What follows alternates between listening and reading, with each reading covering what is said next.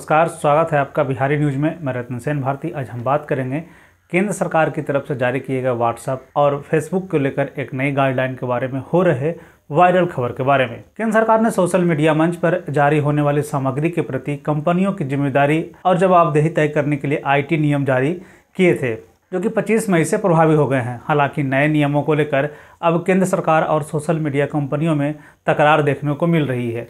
इसी बीच social media पर एक दावा किया जा रहा है कि सरकार नए नियमों के ज़रिए सोशल मीडिया पोस्ट और फ़ोन कॉल्स पर नज़र रखेगी।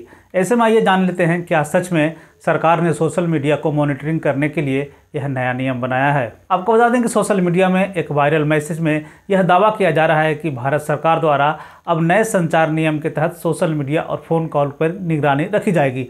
इसी दावे को लेकर केंद्र सरकार की तरफ़ से कहा गया है कि उसने लोगों के सोशल मीडिया पोस्ट या फ़ोन कॉल पर नज़र रखने के अधिकार वाले कोई भी नियम नहीं बनाया है।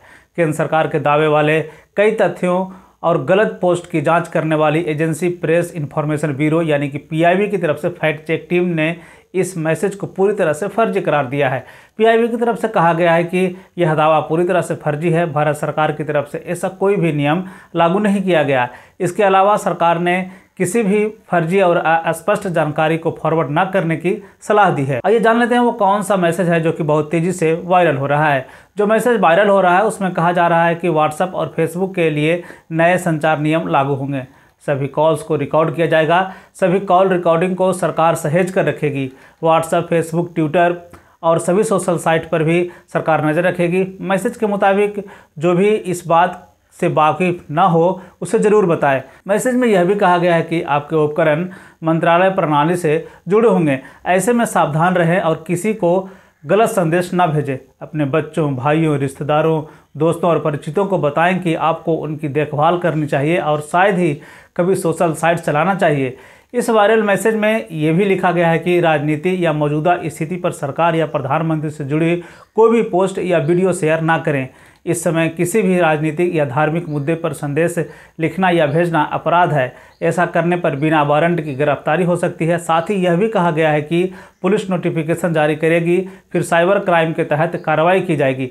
मैसेज में उन लोगों को भी आगाह किया गया है जो व्हाट्सएप ग्रुप पर है। इसमें कहा गया है कि आप सभी समूह के सदस्य ग्रुप एडमिन इस बात पर विचार करें। सावधान रहें कि गलत संदेश न भेजें। कृपया इसे साझा करें।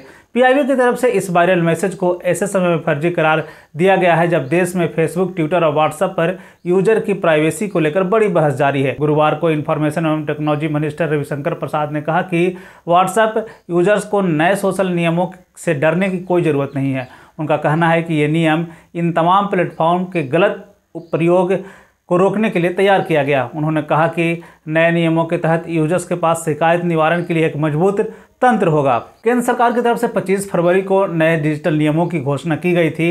इन नियमों के तहत ट्विटर, फेसबुक, इंस्टाग्राम और व्हाट्सएप जैसे बड़े सोशल नेटवर्किंग प्लेटफॉर्म को सुरक्षा के अतिरिक्त उपाय करने की ज़रूरत होगी। इसमें मुख्य अनुपालक अधिकारी, नोडल अधिकारी और भारत स्थित शिकायत अधिकारी की नियुक्ति जैसे उपाय शामिल हैं। सरकार ने सोशल मीडिया प्लेटफॉर्म के लिए नए नियम बनाए हैं। इसमें देश के 50 लाख से ज़्यादा यूज़र्स हैं। व्हाट्सएप ने सरकार के नए डिजिटल नियमों को दिल्ली हाई कोर्ट में चुनौती दी है, जिसके एक दिन बाद सरकार की यह प्रतिक्रिया सामने आई है। व्हाट्सएप का कहना है कि ओरिजिनल मैसेज तक पहुँच मुहैया कराने से यूज़र की प्राइवेसी खतरे में पड़ सकती है। तो एक तरह से हम कह लें कि सोशल मीडिया पर जो वायरल हो रही खबर जिसमें ये कहा जा रहा है कि सोशल साइट्स और हमारे फ़ोन कॉल्स को केंद्र सरकार ट्रैपिंग कर रही है, यानी कि उसे अपने पास जमा कर रही है और बाद में किसी भी तरह से उसे कार्रवाई की जा सकती है। यह पूरी तरह से गलत साबित हुआ है। पीआईबी ने इसे पूरी तरह से फर्जी करार दिया है। तो ऐसे फ़ोन कॉल्स और इस तरह के मैसेज को लेकर आप ध्यान न दें। बिहार और बिहार से जुड़ी हुई और भी ऐसे खबरों के लिए बने रहें बिहारी न्यूज़ के साथ। मुझे दीजिए इजाज़त। धन्यवाद।